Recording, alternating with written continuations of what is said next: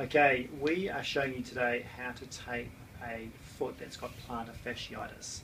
And we've got Vincent here today who has actually got a shoulder injury and we you'll see him on our shoulder videos, but he has done a lot of walking in thongs or flip-flops or jandals if you like from New Zealand. And what's happened is his arch here, when you're in a in a thong or a flip-flop, the arch collapses down and what he's got is he's stressed the plantar fascia right at the point of the origin. So he's very tender right on the bone of the calcaneus where, where that plantar fascia hooks on here. You can see him jumping a little bit. And so because he spent a lot of time in walking around, walking around in thongs, that has done a little tear in there and that needs to heal. Now, we need to therefore try and keep his arch up to try and stop that um, tearing all the time and let it heal. Plus, he needs to be in some decent shoes, like he needs some decent arch support in his shoes, he needs to wear them a lot. But today, I'm going to show you how to tape it because he will have to tape this himself when he when he can't get in to see the physio or when he's away. Um, and what I like to do is because taping needs this stuff needs rigid tape, so this brown tape needs rigid tape. This has got a zinc oxide in it, and the skin doesn't like that very much. So we tend to use a hypoallergenic porous tape so this is called Therafix. Um, it's other brands called Allfix, that sort of thing.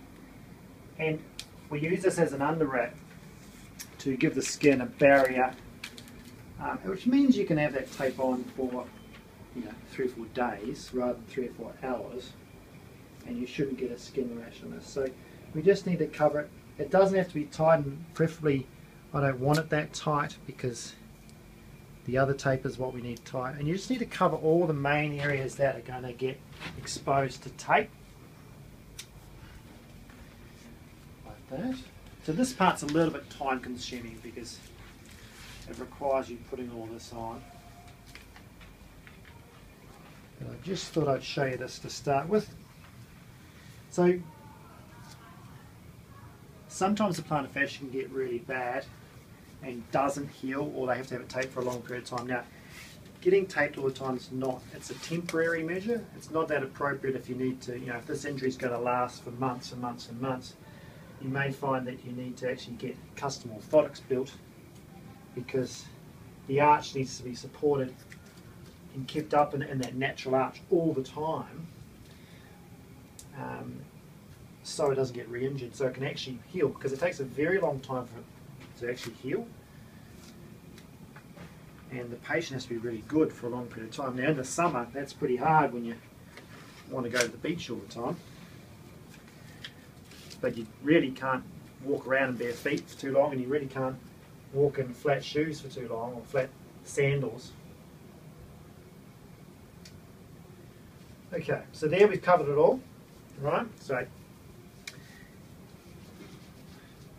there. So what you start with, with your rigid tape, is two strips. One's from the big toe to the heel. So I like going from the big toe, right, so the ball of the big toe there, and you let the foot curve a little bit and relax, okay?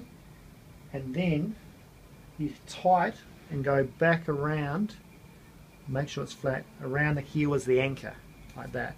And then push it down okay? So this is acting like a sort of a bridge or a hammock for that part of the plantar fascia. And then you do the same thing from the little toe to the heel in that same direction. So little toe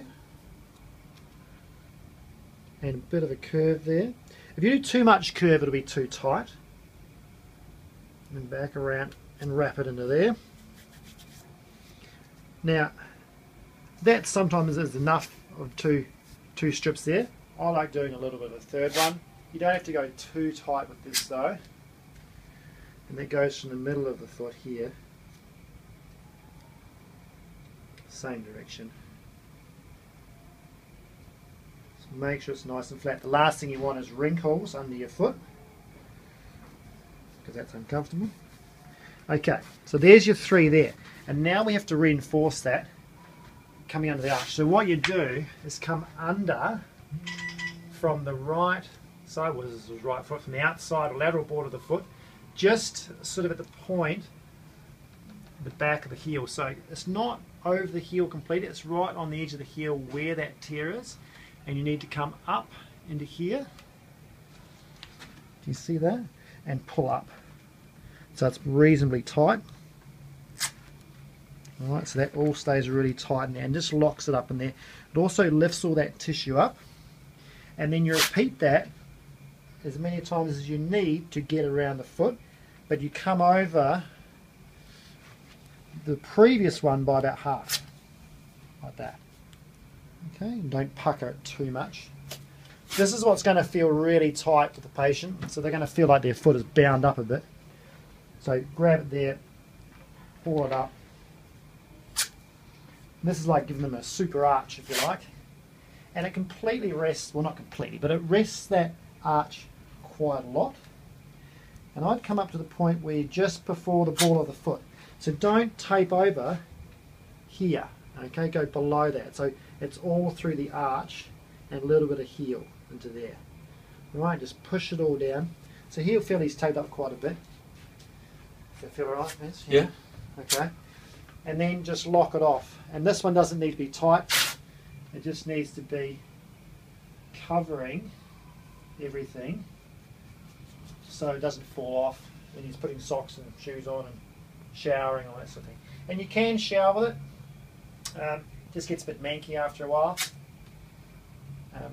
Keep out of the water if you want to. And there you go. So he can keep that on for three, maybe four days. Um, you can check the skin, that sort of thing, if it's, if it's getting a little bit white or lacking oxygen. Um, but what that'll do is then hold him up this way, but also hold him up that way. And that'll feel really supportive when he puts his foot on the ground. But like I said, he's still got to be in running shoes quite a bit. And the other things you can do is get in there with some ice. So you can roll on an ice bottle, or you can have a, uh, a trigger point ball in there and massage that out and loosen that up, which will really help. Um, when the tissue heals, it gets really tight, and you don't want it super tight. You want it looser, so he can work on that while it's getting better. Um, and then doing some other exercises like calf raises and strengthening and stretching his calves and all that sort of thing to help with that as well.